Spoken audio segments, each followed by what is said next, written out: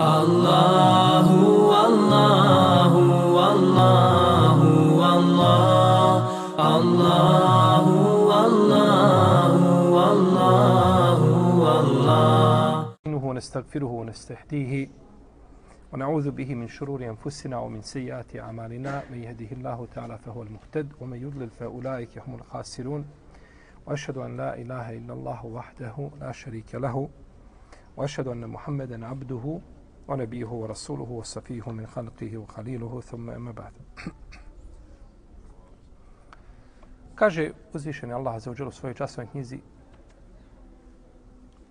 Elif la mim حسب الناس أن يتركوا أن يقولوا آمنا وهم لا يفتنون ولقد فتنا الذين من قبلهم فليعلمن الله الذين صدقوا وليعلمن الكاذبين Elif la mim zar ljudi smatraju, zar misle, zar pretpostavljaju da će biti ostavljeni da kažu mi vjerujemo, a da ne budu iskušani. Mi smo iskušavali one prije njih da bi Allah pokazao iskrene i da bi pokazao neiskrene, da bi pokazao one koji lažu.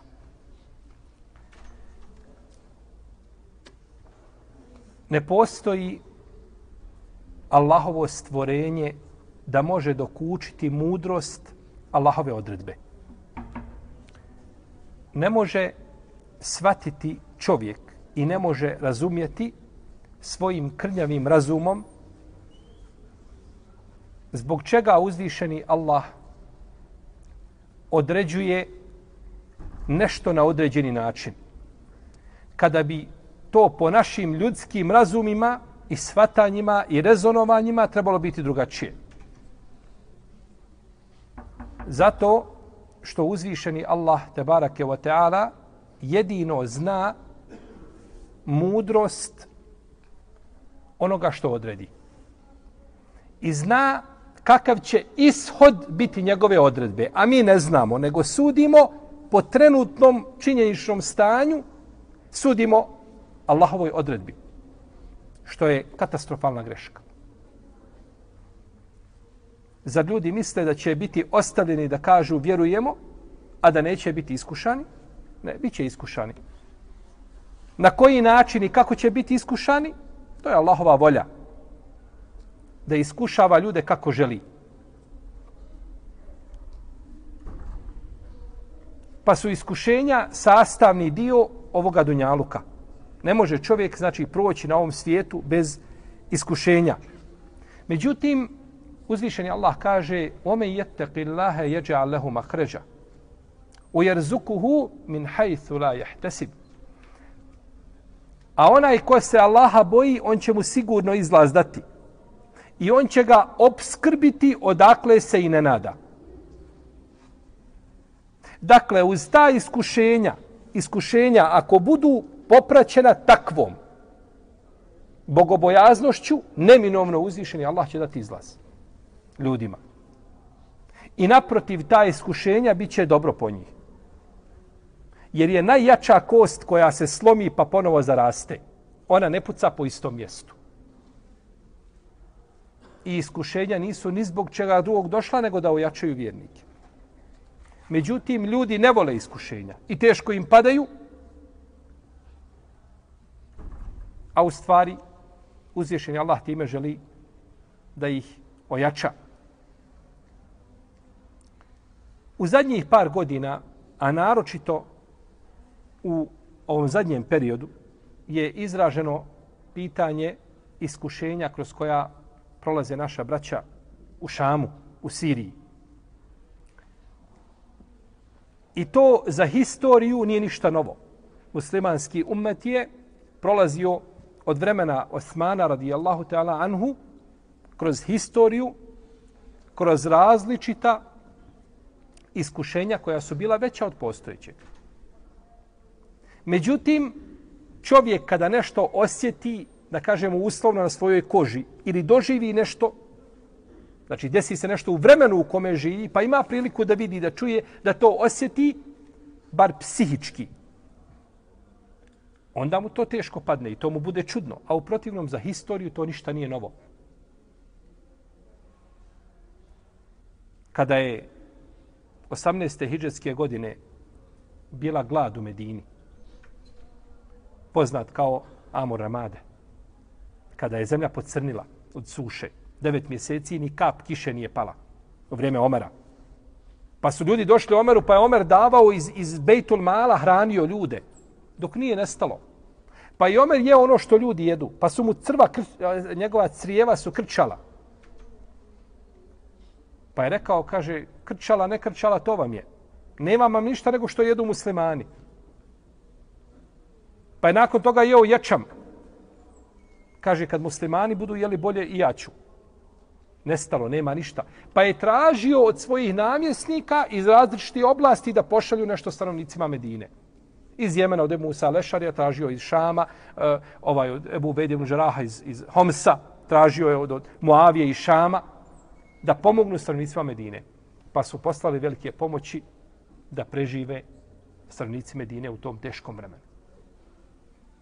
Stranici Šama, iz Šama, od Muavije, iz Homsa, Himsa konkretno, gdje je bio Ebu Ubejdin Džarah, gdje je bio namjesnik. Pa je došlo vrijeme da stanovnici Medine vrate taj dug. Da vrate dobro ili da vrate boljim od onoga što su dobili. I vratili su. Vratili su to. Vjerujem da su stotine, ako ne hiljade milijardi došle u, Medinu, u, u, u Siriju, u Šam, da pomognu muslimanima. Međutim, da li je to bilo dovoljno? To je pitanje druge prirode.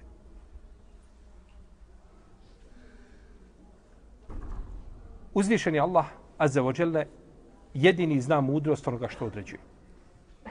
To ne znaju ljudi. I jedno iskušenje na kome padne muslimanski ummet, kao što je pao na ovom iskušenju, ne znači da ovaj ummet ne vrijedi. I ne znači da je ovaj ummet izgubio mjesto kod uzvišenog Allaha za ođer. To nikako. Jer ovo je najbolji umet koji se je pojavio ikada među ljudima. Ovakav umet ne postoji. Najbolji smo. To nam je posvjedočio onaj koji ne priča po svojim prohtjevima. A to je Muhammed sallallahu alaihi wasallam. Najbolji umet koji se pojavio. I ne zna se je li bolji njegov početak ili njegov kraj, kao kiša. Kako je došlo u hadisu Enesa kod Tirmizije. A ehlu šam u tome svemu predstavljaju jednu, jedan stožer, jednu, jednu osovinu posebnu oko koje se vrti muslimanski umet. Pa kaže poslanik sa osvrmu hadisu, koga bilježi imam Tirmizi, i za koga kaže da je vjerodostojan, da je poslanik sa osvrme rekao i da fesede ehlu šami fela hajre fikum. Kad se pokvare stranici šama, u vama nema dobra. A stranici šama se nisu pokvarili.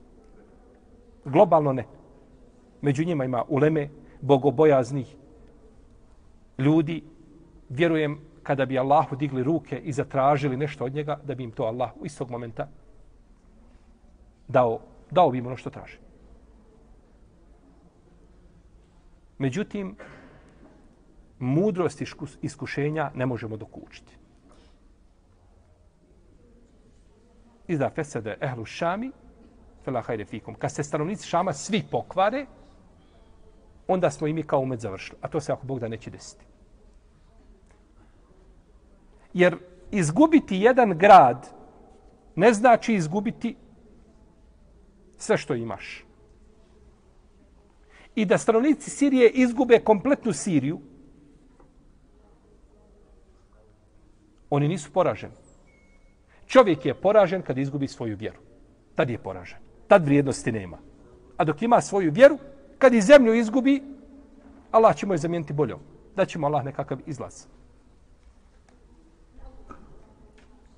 Mi ne kažemo time da je muslimanski ummet skinuo odgovornost sa svoga vrata time što ćemo kazati zamijenit će im to Allah boljim. Ne, odgovornost ostaje. Odgovornost ostaje kako na vratovima vladara i vlada i e, humanitarnih organizacija i, i kako ostaje na e, islamskim institucijama i, i, i na ulemi, na dajama, na običnim ljudima, kada bismo kazali, ostaje ta odgovornost i na, i na učenicima u prvom razredu, možda ne bismo pogriješili, jesi li nacrtao na listu, na papiru, jesi li nacrtao a, porušene kuće u Halepu i pokazao svoju učiteljice, rekao, evo učiteljice, ovo rade najveći zločinci savremne civilizacije. Pogledajte kako ruše kuće, ubijaju djecu. Jesi nacrtao nešto čime bi ilustrirao, znači, događaje koji se zbivaju. Niko nije oslobođen odgovornosti. Međutim, uzvišeni Allah je puno milostiv, milostiviji od toga da ostavi svoje iskrene robove, a da im ne pomogne. Jer ne ostavlja nikoga, da barak je oteala, na cjedilu. Međutim, mi ne smijemo sebi dozvoliti da dođemo i da paušalno osuđujemo toga ili toga ili toga i kažemo on je kriv. Ne, ovo je krivica ummeta. Jer mi smo kao ummet slabi. Ima li neko, ima li država koja može dići svoj kaži prst? Muslimanska država da samo digne kaži prst. Znači da prijetju nekom uputi, nećete tako raditi. Ne postoji. Znači, kao umet smo slabi. Pa prevaljivati krivicu i svaljivati krivicu na nekoga po na osob, to je velika hrabrost. A naročito svaljivati krivicu na ulemu kao što čine maloumnici. Maloumnici kakve god diplome da nosili. Umet dok je slijedio ulemu, uvijek je bio u dobru. Umet kad je ostavio sljeđenje uleme, i radio po svojim prohtjevima, uvijek je bio u šeru i u zlu. I to je historija. I neka mi neko dođe sa historijskom činjenicom i neka mi dokaže drugačije da ga u čelo poljubi. Dođe mi sa činjenicom historija sa lažnim lancima prenosilaca. Sve lažov do lažova i dokaži mi da je Ulema bila u hajru kad je ostavila put Ulema. I danas nađete ljude, kažu za ovo sve što se dešava je kriva Ulema. To je velika hrabrost. Krivi smo mi kao ume, ulema snosi odgovornost, definitivno. Ali vi niste oslobođeni odgovornosti, ni ja sa vama. Klanjali smo akšam. Koliko nas je na seždi dovilo našoj braći u Siriji? I prošlih mjeseci i godina.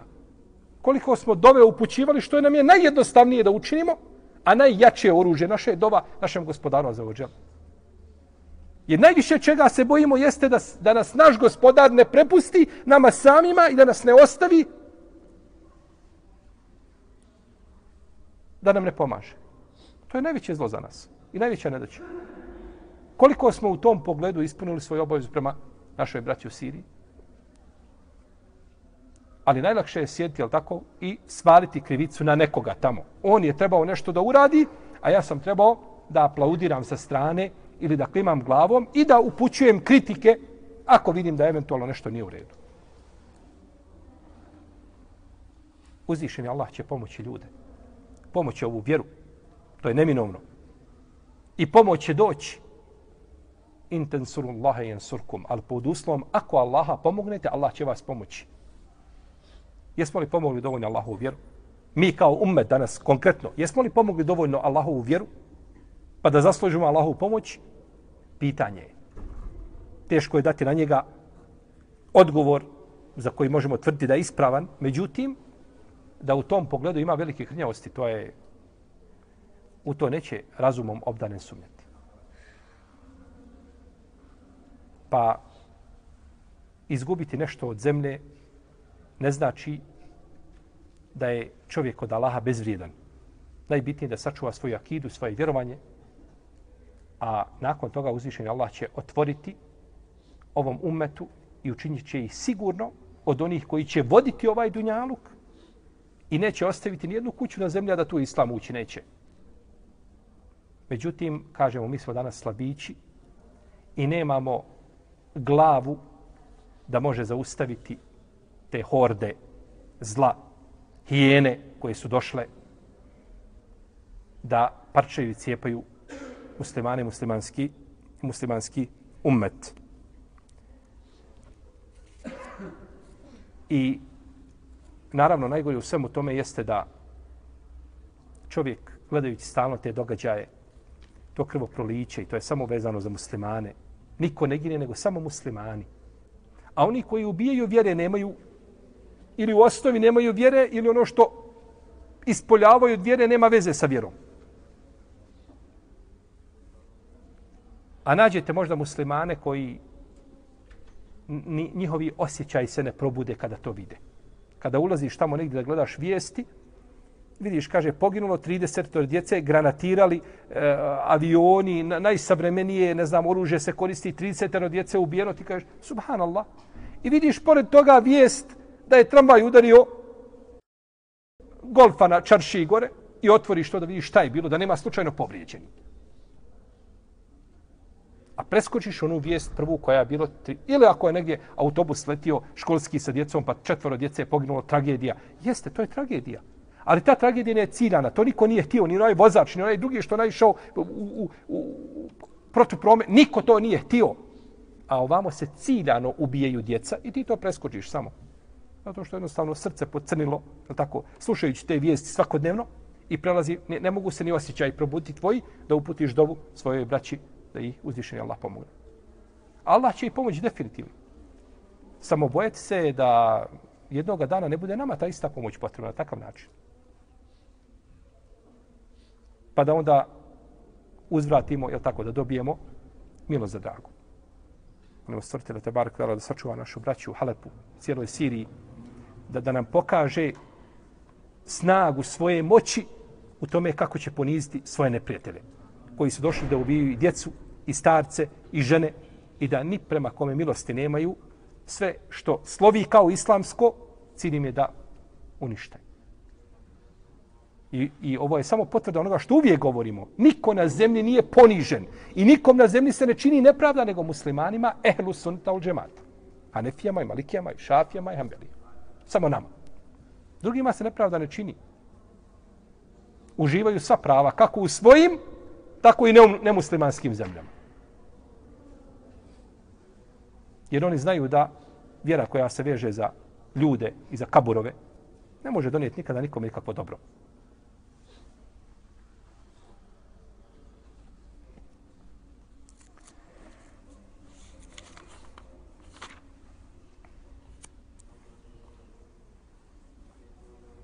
Mi ćemo nastaviti sa našim tefsirom. Jer od stvari koje mi možemo učiniti jeste da učimo svoju vjeru i da se držimo te vjere. Ne može učiniti, ali neće zbog toga što ako ne može učiniti ono što je najveći, ne može riješiti najveći problem, neće ni rješavati one sitne probleme ili koji su manji od njega ili sitniji, neće rješavati. A nema sumnja da je a, ovaj učenje vjere i njeno praktikovanje da je naša primarna obaveza, a nećemo svakako zaboraviti našu braću da ih pomognemo u najmanju ruku našim domama iskrenim, jer uzvišen je Allah kakva god iskušenja da bila raznorazni vrsta i boja, promjena tih iskušenja i izmjena te situacije samo između kun fe kun. To uzvišeni Allah uvijek može promijeniti, ali je pitanje nas i naše iskrenosti. Mi smo zadnji put govorili o komajetu, 80. Je li tako? 79. 80. Smo završili 80. Ostavili smo nešto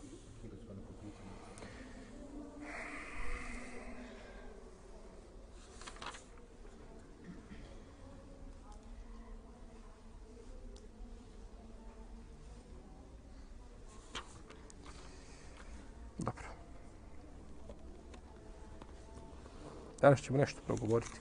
Nećemo duljiti, inša Allah, ja sam mislio da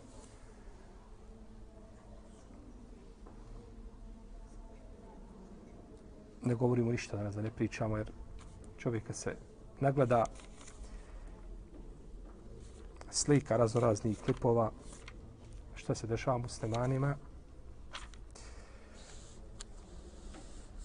Zanije mi jednostavno, ne može pričati.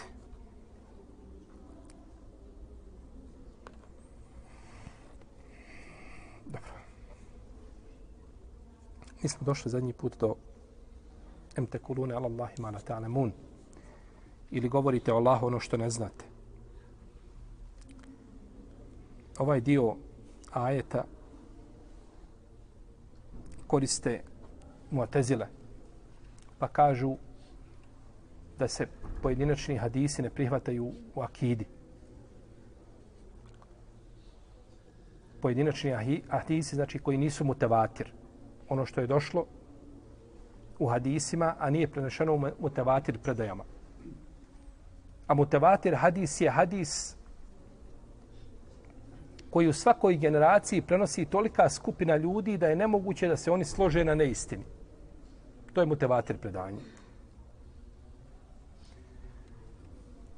Pa kažu, ovdje se kaže, jel Allahu govorite ono što ne znate.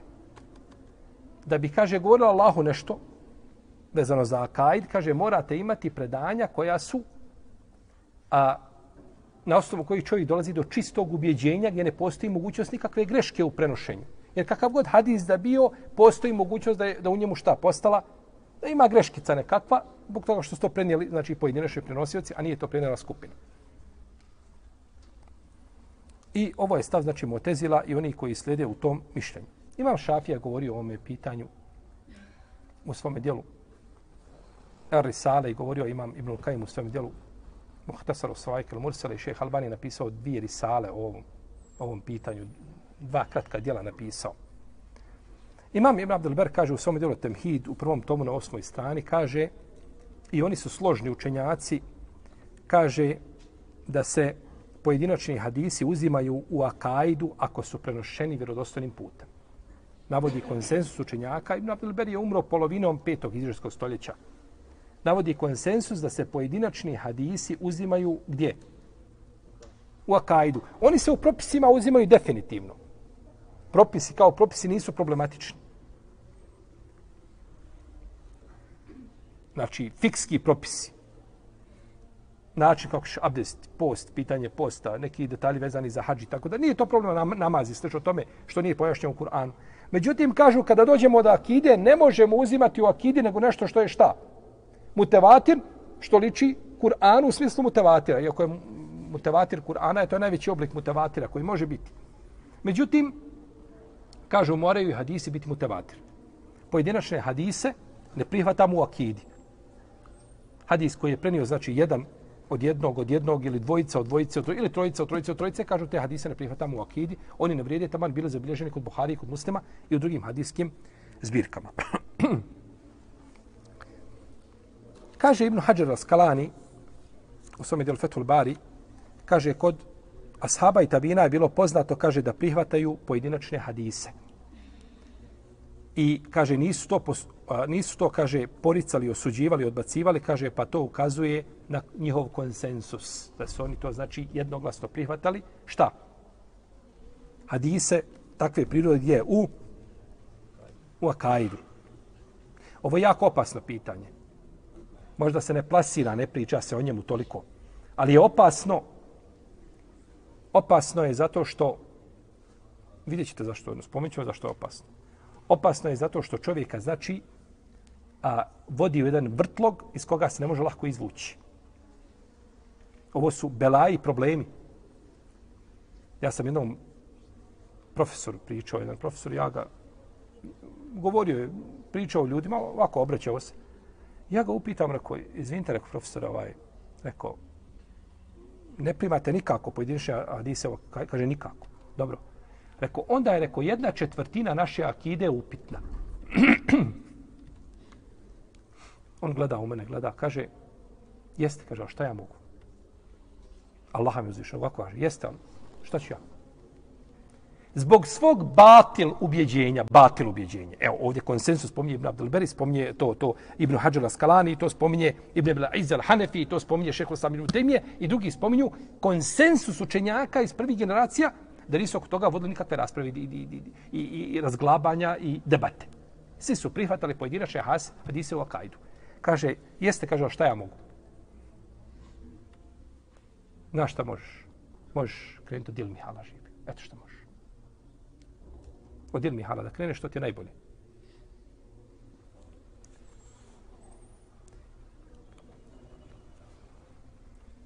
Znači, islamski učenjaci su to prihvatali. Ibn Abdelber je spomenuo konzenzus ovome dijelu Temhid, je spomenuo je u dijelu Džamiju Bejanila Inmi u Fadlihi i to je spomenuo jednoglasan stav islamski znači, učenjaka u vezi s tim. Kaže da se oko toga nikada nije razglabalo i raspravljalo. Dobro, šta mi gubimo time ako kažemo da se ne prihvataju? Šta je problem? Islam propao? Nije propao islam, imamo dalje vjeru i šta je, što je sporno? Sporno je. I te kako je sporno? Mi ako kažemo da se pojedinačni hadisi koji nisu mutevatir ne prihvataju u akidi, to znači da ne možemo potvrditi da je poslanik sa osvijem najbolji od svih poslanika. A je to naša akida? Jest. Imamo li u Kur'anu jasno da je poslanik najbolji? Nema. Nema da je poslanik sa najbolji poslanik. Imamo da je pečat poslanika, ali da je najbolji poslanik, teško će što dokazati Kur'anom, osim nekakvim zaključivanjima. Imamo li da će poslanik sa na sudnjem danu činiti šefat? Da, se, da počne obračun? Najveći šefat koji mu je dato je posebna vrsta šefata, da će svi poslanici ustrčavati se da čine šefat, pa će doći poslanik sa pa će pasti da seždu pod aršom, da počne obračun. Pa ćemo reći uzvišenje Allah Muhammede, digni glavu. Traži šta hoćeš, daći ti se. Ne možeš ni to dokazati. Možemo li dokazati da će poslanik sa osaname činiti šefat stranici ovim, ovim e, ljudima koji su imali pri sebi velikih grijeha, koji izvršu džahennem, pa im treba šefat da iziđu? Ne možemo. Možemo li dokazati poslanikove sa osaname muđize, osim Kur'ana? Imam Neo i kaže da je poslanik sa osanem imao 1200 muđiza. 1200 muđiza. nek je stotinu sahih. Samo stotinu nek je sahih. A o tome imam Al-Bejheqi napisao knjigu u devet tomova. Veliko knjigu napisao. Između ostalog i o muđizama. O dokazima poslanstva. A najveći dokazi poslanstva su muđize. Nek je stotinu sahih. Koliko je mutevatir od tih stotinu? Ne može biti pet. Nek je deset, nek je dvadeset. 80 muđiza od dokaza poslanstva ti se odbacio. I ne vidiš u to. Možemo li dokazati a, opis meleka, džina, opis dženneta i džehennema u mnogo slučajeva, ono što nije spomenuto u Kur'anu, što je spomenuto samo u hadisima. Možemo li dokazati Možemo dokazati da je Ebu Bekru džennetu, i Omar, i Osman, i Ali. I možemo dokazati i da je 30 ashaba koji spomenuti da su direktno u džennetu. A po imenice ne možeš. Tako je jednostavno to što je to spomenuto u hadisu. Osim da se uzmeju opći ajeti u kojima shadi obavezu o, a, a, ovim ashabima obećava dobro. Možemo li dokazati da poslanik sa ima haud, rijeku iz koje kada se ti napiješ da nećeš nikad ožedniti. Možeš li to dokazati kada se napiješ da nećeš nikad ožedniti nakon toga? Ne možeš. To me nema ništa u Kur'anu. Možeš li dokazati da je olovka sve zapisala? Možeš li dokazati da zemlja ne može jesti tijela poslanika? I možeš li vjerovati, smiješ li vjerovati u to? Da zemlja ne, ne može nagrizati tijela poslanika?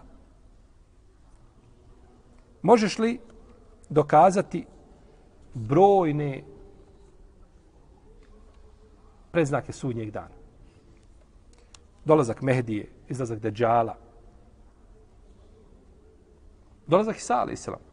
Kur'an nije decidno jasan po pitanju dolazka Isa, a.s. islam. Može se razumjeti, ali se može i raspravljati oko toga. Možda će neko kazati o nekim od o deđalu možda imamo tevater hadisi, o dolasku iz sali sami imamo tevater. Možda. O drugim pitanjima nema. Kako ćeš dokazati sve te preznake sudnjeg dana koji su brojni, o kojima nema nikakvih hadisa koji su motivatori?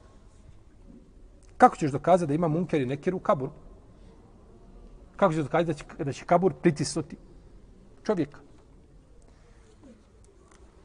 Kako ćeš dokazati da je uzvišen Allah zapisao čovjek koji će biti sretan ili nesretan i da mu je zapisao rizk, obskrb dok je bio u utrobi majke. Kako što dokazati? Kur'anom? Neš dokazati Kur'anom. Kako ćeš dokazati sve posebnosti koje imam Sujuti spomenuo poslaniku sal sam u dva toma?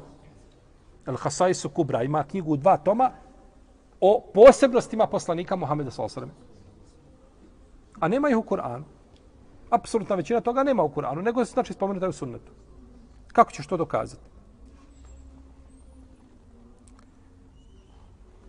Kako će čovjek dokazati da je poslanik sa ušao u džennet za vrijeme svoga života, da je vidio ono što je obećano vjernicima u džennetu? Kako ćeš dokazati da je njegov džin koji je pored njega da je primio islam, svakog imamo Karim, taj, taj koji je uz tebe, da je primio njegov islam i da ga nagovara nego na dobro? Kako ćemo dokazati da je izlazak sunca sa zapada od preznaka sudnjeg dana? Osim pojedinačnim hadisima. Znači, nemamo ništa nego pojedinačne hadise u vezi s tim. Nemamo tevatir hadisa. Je li vama jasno šta su mutevatir hadisi, šta su pojedinačni? Ste razumjeli svi? Znači, mutevatir prenosi mora u svakoj skupini biti, u svakoj generaciji mora biti jedna velika skupina. Neki kažu 40, 60, 70. Uglavnom mora biti velika skupina da se ne mogu složiti na neistini. I kad svi prenesu na isti način, kažu, znači, zaista je tako rekao Allahov poslanik i tako je šta. A pojedinačni hadisi, prenosi ha, poslanik rekao hadis, on od njega prenio jedan ashab, od ashaba jedan tabin ili dvojica tabina, posle dvojice tabina svaki ima po dva učenika, četverica, posle toga osmorica, ali opet nije došao stepena čega. I ako samo u jednoj granici da prenosi stotina, pa jedan, pa stotina, pa stotina, pa stotina, nije šta. Nije mutavatir. Mora u svakoj generaciji biti šta?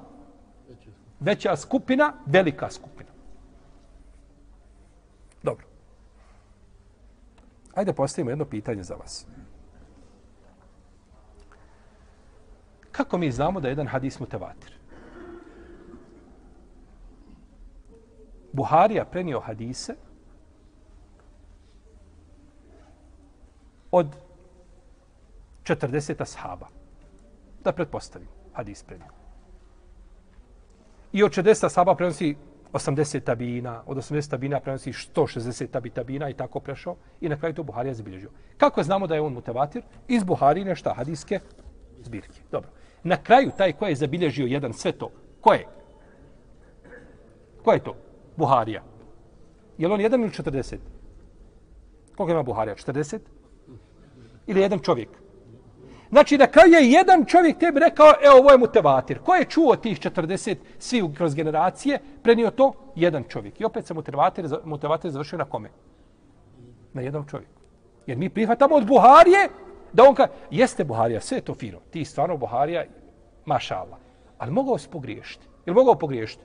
Jeste kao što je mogao pogriješiti Zuhri prije njega, ili Katade, ili ovaj ili onaj, tako je mogao i Buharija pogriješiti. Jeste Buharija sve to u redu, ali mi hoćemo 40 ljudi koji su to čuli od tvojih šehova, koji ste uvijek sa sobom vodio, da oni to slušaju. To je musibet, to je nadaća. pa je ti se hadisi i nakon toga je jedno što mutevatir hadis nije mutevatir hadis. Imam sujutija ima djelo mutevatir hadisva, pisao je o tome imam Zrkeši, pisao imam kitani i drugi učenjaci pisali. Imam sujuti spomene hadis da je, da je, da je, da je mutevatir koji je, koji je hadis ima poremećene lance prenoslaca u, u principu se odbacuje taj hadis. A on ga spomenu mutevatir hadisima. Pa ćemo se razići sa nekim od učenjaka ne mi nego učenjaci ne govorimo mi. Da li nešto mutevatir ili nije mutevatir? I ko će to odrediti, da li ima mutevatir ili nije mutevatir? Pa se opet mutevatir vraća znači na jednog čovjeka. I dobro, a je ovako zabilježio i Buharija, i Muslim, i Tirmizi, i Nesaj, i Imam Ahmed, i, i 15 imamo hadijski zbir koji zabilježio te hadise u redu. Je opet mutevatir? Opet nije mutevatir. Gdje mi kaže kako da ostvarim taj mutevatir, molim te. Kako da dođem do tog mutevatira, koga ti hoćeš? Kad bi moralo biti prenešeno u svakoj generaciji.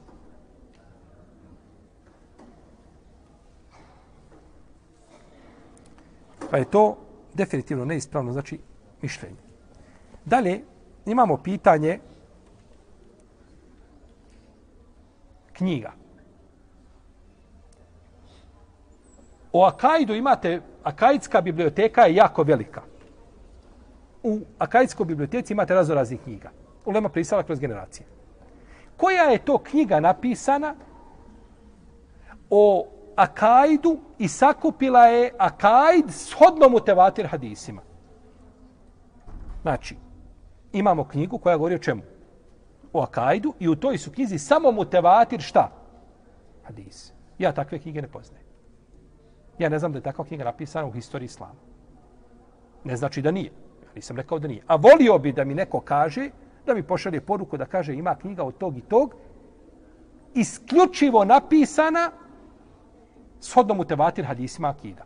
Da naučimo nešto novo. Je tako? Čovjek koliko god da učio, ovaj, a našto kad ne zna ništa, onda je lako mu je naći grešku. Pouči nas pa kazi, ima ta i ta knjiga napisao je čovjek u 8., 9., 10. iđeskom stoljeću. A kad bi nam rekao napisali, napisao je neko iz, iz prve tri generacije, to bi nam bilo još draže, ili četiri, ili pet, ili šest generacija. Kak, kak, kako to imamo akidu, a ni jedne knjige nemamo o toj akidi? Ja Allah, šta, su naš, šta je naša olema radila? Hajde neka kažemo da imamo jednu ili dvije ili tri knjige napisane o tome. Hajde da pretpostavimo. A čista sumnja. A eto i vi se raspitajte malo daje, pitajte malo daje, jesu li šta čuli o tome, znali ko šta je, liko čuo negdje, po internetu neka malo pročačkaju da vide, možda se nešto iskopa nađe, ne znam. Ja nisam nikad čuo da ima knjiga napisana po, znači, mutevatir hadisima, akajitska knjiga. I da je napisana jedna ili dvije ili tri knjige. Je to dovoljno? Pa mi imamo o svemu stotine knjiga, stotine komentare davali na hadise. Ma kakvi komentari na hadise? Meni je preče da sakupim hadise, mutevatir hadise o akidi. Akida je preča od komentara na hadise pojedinačne. I onako i odbacujemo, je tako? Kad dođem do pojedinačnog hadisa koji ističe akide, preskoči to, napiši samo pojedinačni hadis, nije mutevatir i završena priča. Što ćeš, kakav komentar ćeš davati? Što ćeš davati komentar na hadis koji, je, koji se ne prihvata? Kakav god komentar da dam, na kraju moram kazati, ali vidi, ovo sve što, što sam ti spomenuo, zaboravi. I to je po meni osuda uleme. Osuda uleme znači i napad na Ulemu da Ulema nije upotpunila, a mi imamo, braćo, knjiga napisani o fikskim pitanjima. Na Indijskom polostru, na Indijskom polotoku, je u 13. i 14. hiđarskom stoljeću napisano hiljadu studija vezani za pitanje učenja i za imama. Indijski poluotok, opće ne, arapski jezik se tu malo koristi. Napisano je hiljadu studija ve, za je, vezano za jednu meselu učenja i za imama. U dva stoljeća. Hiljada studija. I vam ulema preskače hadise, sve prelete preko to, niko ne piše ništa. I dođemo mi danas, i hajde imali, imali danas kakav profesor da je napisao, on posle 14, 15, 15. stoljeću probudio muslimanski umet i napisao nekakvu knjigu o Akajdu. Molim te. Ja sam čuo jednog šeha, drži hutbu i kaže, spomenuo jedno pitanje Akajdsko, kaže, i ne vidim, kaže, da me iko ome pretekao. Bolje bilo da sam imbera na glavu skočio. To manji grije bio. Ne vidim da me iko pretekao, ja sam prvi koji je ovo rekao u Akajdu. Pa dobro, Allahu dragi, šta, šta su naši učenjaci radili prije toga? Allah i braćo, tako ne može pričati niko ko se druži sa učenjacima i čita ono što su napisali ili sluša kako govore. Ne može tako govoriti. O jednom pitanju učenjaci, sitno jedno pitanje, napišu o njemu, napišu o njemu studiju na, na, na, na par hiljada stranica. I on dođe i kaže, ja sam danas, kaže, ovo spomenuo, kaj ne vidim da me iko pretekao. Pa ti sam presudio toj svojoj famoznoj knjizi koju si napisao živ bio. Da si šutao, možda to niko ne bi primijetio. Pa je, to je osuđivanje, znači, a, i ashaba i tabina i prvi generacija koji nisu, znači, u tom pogledu pravili nikakvu, ili koji nisu pravili nikakvu razliku. Znate što to znači? To znači ovako da nama sada jave Japanci kažu mi hoćemo da pređemo na islam. Hoće Japan da pređe na islam. Isčitavali ljudi islam i a, bez predrasuda pristupili i našlo se tamo 100.000 Japanaca ili 5.000 nije biti hoće da prime islam. Kažemo, lijepo, drago nam je što ćemo imati novu našu braću i mi im pošaljemo trojicu učenjaka, najveći danas odaberemo u naše oleme i pošaljemo. I slete tamo u Tokio, ovi dočkaju, odu na ručak, prime i prihvate i sve kažu sve je to u redu, ali Vas ste trojica samo došli. Mi da bismo akidu primili od vas da nas akidi poučite i vjerovanju, mi hoćemo da imamo tevatir. Hajde vi se vratite nazad, pa se vi dogovorite, pa nam dođite sa velikom skupinom. Jer ovaj ga mora, čemu će ga poučiti? Će ga učiti? Neće ga učiti, prvo što učiti abdestu. Uči ga prvo vjerovanju, teohidu. Zamislite ovako, ide ulicom kroz Medinu, ide Ibn Omer i pored njega ide Nafija, njegov učenik. Ili ide Ibn Mesaudi, pored njega ide Alkame. Ili ide Ebu Horeire, pored njega ide Larađ. Ide Džabir, pored njega ide Ebu Zubeir. Ili ostavite Ebu Zubeira. Ima malo razdiloženja oko Ebu Zubeira i Džabira. Nego ide Muhammed ibn Munkedir. Ili ide Ata ibn Jesari, pored njega ide ko? Ebu Hureyre. Ili, ili ide Sabit el Bunanija, pored njega ide Enes. To su učenici, najbliži učenici. I ovaj sad ashab priča, Ebu Hureyre, Ibn Omar i ovi govore, svom uči kaže, vidi, rekao nam je Allahov poslanik sa osaleme, da će čovjek u džennetu imati tako i tako i tako. Kroz Medinu idu i ovaj priča. I ovaj ga pogleda, odmjeri ga od glave do pete, da bude ozbiljen. To je odgovor. Budi ozbiljan, je li tako? Pa sahabi prenosili hadise, poslanik sa pošalje Ebu Musa u Jemen. I Aliju. Pošalje u Jemen. Ovoga pošalje u Egipat. Ovoga pošalje na, na sjever. Ovoga pošalje na jug. I dolaze ljudima i poučavaju. Dođe ashab, primi kod poslanika sa osrme vjeru. Primi islam. Pouče ga osnovnim propisima. Kaže, vrati svome narodu, ti si njihov iman, predvo, imam predvodi i pouči vjeru. Sve prenošeno na takav način. I onda kažu, ne, ne, ovaj, samo mutavatir hadis se primio. I onda dođe Buharijom patos potareš. Jer Buharija je danas postao, znate šta je postao? Autić onaj mali, na baterije. Igračka, u rukama ljudi.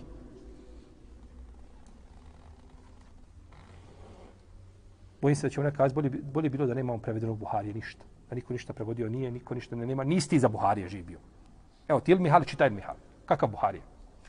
Iziđu ljudi i onda, tako, na grupama, na, tamo negdje na forumima, Viberima, ne znam, u Facebooku, patos brišu Buharijom. I daje on svoje uvaženo mišljenje po, u vezi s tim hadisom. Ja, kaže, ovo, sumnjam u ovo. Ko te pita, bolan? Znaš se abdestiti? Haj, vallahi, stane ovdje da se abdestiš, da vidimo samo znaš se abdest po sunnetu poslanika i da izneseš argument za to što, što, kako ćeš se abdestiti. I ljudi dođu, on, on, on mora izneti svoje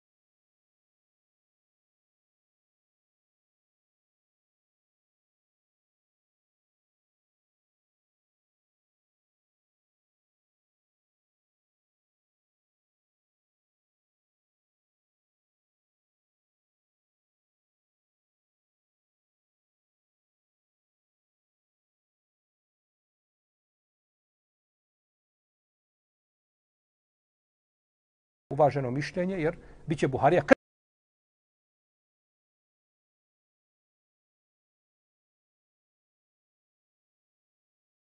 krnjav a hadisa.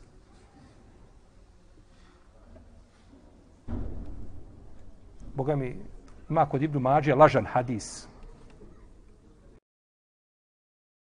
Ja, nije to moje, ja ne ocenjujem hadise živio. Nije to moje da ja ocenjujem hadise, je lažan, nije lažan, da, je, da se ja, možda ima nekakav poseban tefsir u svemu tome, da se s drugim hadisom nešto, pa da ima nekakav e, komentar toga, je došao slab hadis da u svome sunenu. Šta ti je mene, šta si ti o svojim sunenom? Mm, I danas za, zagonetka za, za, za hadijske stručnjake.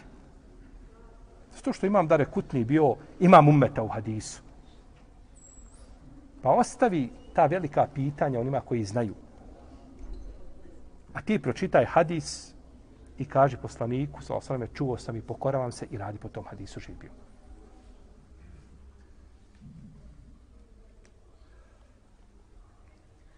Uglavnom, znajte da pitanje odbacivanja pojedinačnih hadisa u akidi, to je zlo, to je šr i to je direktni napad na islamsku akidu. Iako ljudi koji to rade ne žele to, ne žele onda napadnu na islamsku akidu. Ne, nećemo suditi s predrasudama nekakvim, pa čovjeku priheftat nešto što on nema namjeru. Ne.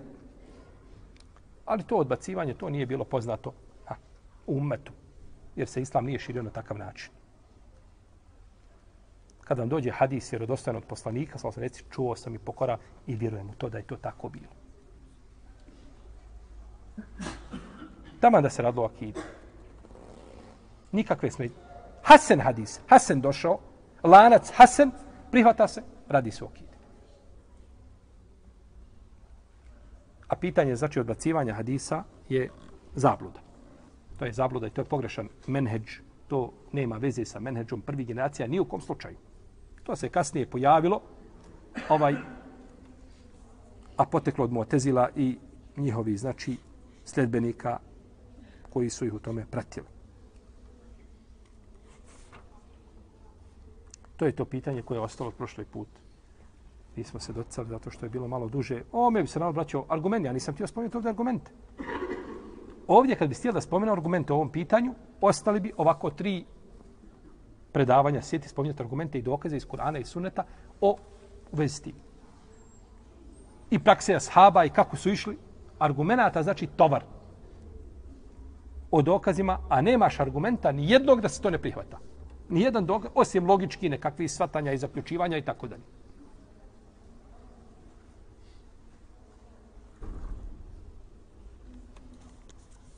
Dobro. O kalu len tebe senen naru ila jame ma'dude. Kažu, neće nas odcat vatra, osim određeni broj dana. Mi smo o ovome nešto govorili u prošlom predavanju. Jesmo li? Jesmo. Pa smo, znači, završili ovaj, ovaj ajet. Ovo što su oni kazali, znači, neće nas docat vatra, osim određeni broj dana, to je menheđ murđija. Murđije, koji kažu šta? Ne šteti vjerovanju grije. Murđije kažu, ti je bitno da ti vjeruješ. I kad vjeruješ, kažu, vjerovanje je jedno, jedan komad, jedna cijelina, ne može se parčati, ne može zijeliti, ne može iman rasti, opadati. I kažu iman Džibrila, i Ebu Bekra i najgoreg tamo pokvarenjaka je isti, koji ne moral čini, isti. Nema, to se ne mijenja, to je znači jedno. Pa je to stav Murđija, je tako? Pa su ovo bile Murđije od Benu Israila, ako se može kazati tako. Jel? Ako, ako može proći taj izraz. Murđije Benu Israila. Koji kažu da neće, da ne šteti, znači, ovaj grije vjerovanje. Kažu, ostaćemo u vatri jedan kratki period. Međutim, to su samo znači njihove želje, puste želje i nagađanja. Pa uzvišen Allah kaže, nakon toga kaže, Bela, men kesebe sejijeten wa ehatat bihi khati'atuhu fa ulajke ashabun nar hum fiha halidun. والذين آمنوا وعملوا الصالحات أولئك أصحاب الجنة هم فيها خالدون kaže a nije tako jer oni koji budu zlo činili i grijesi i njihovi budu sa svih strana skolili, oni će stanovnici vatre biti, u njoj će vječno ostati, a oni koji budu činili dobra djela, koji budu vjerovali činili dobra djela, oni će biti stanovnici dženeta, u njemu će vječno ostati. Ovdje se kaže Bela. Nije tako. Bela ovdje je promjena znači značenja, promjena onoga što su oni kazali. A oni su kazali da će ostati samo u vatri šta? neznatan broj dana. Pa se ovim nakon toga negira ovo što su ovo što su kazali. Ko učini se je ovdje, kažu neki učinjaci da je širk. Men omen džaje bi se jeti fe kubbet vuđuhuhum fin nar. A oni koji budu zločinili, u vatru će biti strmoglavljani. Znači, radi se o čemu? O širku. Radi se o širku. Wa بِهِ bihi. I koga budu skolili grijesi sa svih strana. Jer čovjek koji radi a grijehe širk koji čini, toga su grije skolili sa svih strana. Koliko god čovjek imao grijeha kod uzvišenog Allaha, neće grijesi obuhvatiti njega i njegova dobra dijela, osim oko u tim grijesima ima šta? Širka ili kufra. Neće ga obuhvatiti svega. Pa je ovdje spomenu, znači, grije, jeli, taj smrtni najveći grijeh, to je širk. A to je širk.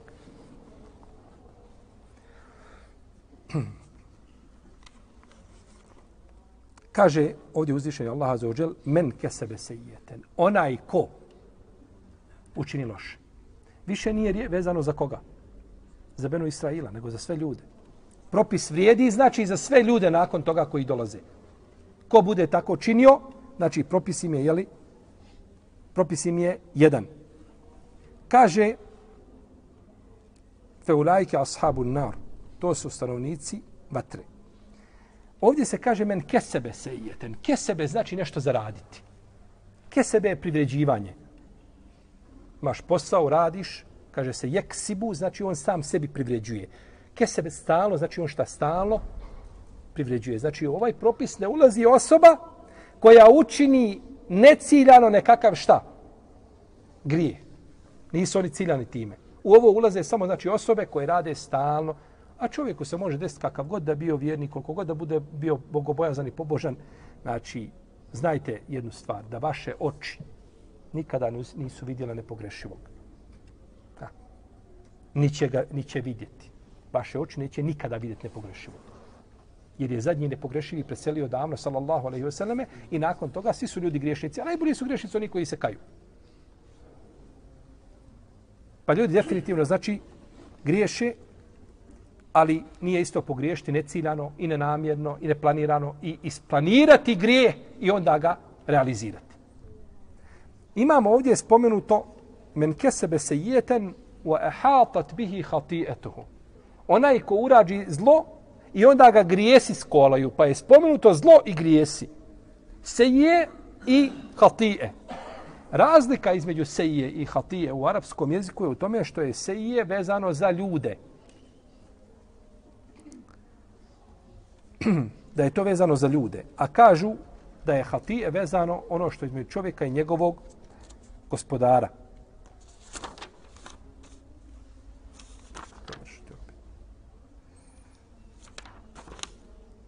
Ono što je vezano čovjeka i njegovog gospodara. I kažu da je seje ono od grijeha što čovjek planira da uradi i planirano učini, a da je hatije ono što a, nije planirao, nego mu se desilo, znači slučajno. I kažu da je seije, da se tiče velikih grijeha, a da se hatije tiče manjih propusta ili manjih grijeha. To je bila nekakva razlika, znači između, između jednog i drugog.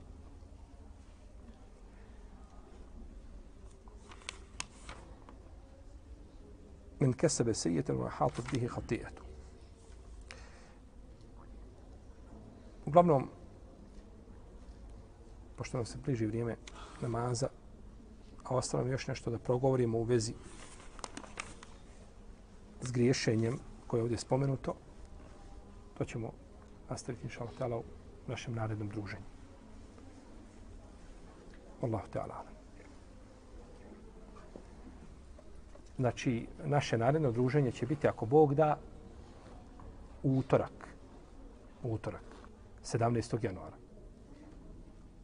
17. januara, znači, govorim naše, mislim, za predanje vezano za tefsir, jer ja neću biti ovdje putujem, pa, znači, nastavit ćemo utorak 17. januara, vi ćete opet tamo imati preko Facebooka, već na način kako kontaktirate, znate ovdje sa profesorom Tarikom, on će vas obavijesti, znači, ali tu, i čuli ste, znači 17. januar utorak mi smo ponovo ovdje, a do tada će ovaj biti ovdje je vama iznenađenje veliko. Znači, u naredni ovdje utorak i onaj tamo i onaj tamo imate veliko iznenađenje. Ovaj, ja vam neću govoriti ko je. Jer bojim se ako to prenesete dalje da će biti puna džamija, ne smemo ući. Pa vam neću govoriti ko je. Osim ako budete insistirali da moram kazati. Ma nije problem. Molim. Jela, bolje da kažem. Dobro. to je šejh koji je meni inspiracija za rad.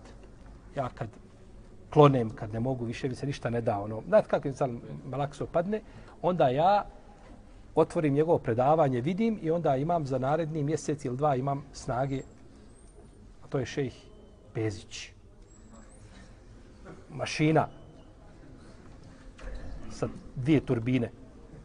Pa nemojte propustiti, znači, mi imamo, znači šef će biti ovdje i on će otputovati, ali u svakom slučaju bit će u naredna, prepostavljam, tri utorka ovdje. Pa nemojte, znači, to propustiti. A mi se vidimo ako Allah drugačije ne odredi, znači u drugoj polovini januara. Allah, Allah, Allah, Allah, Allah.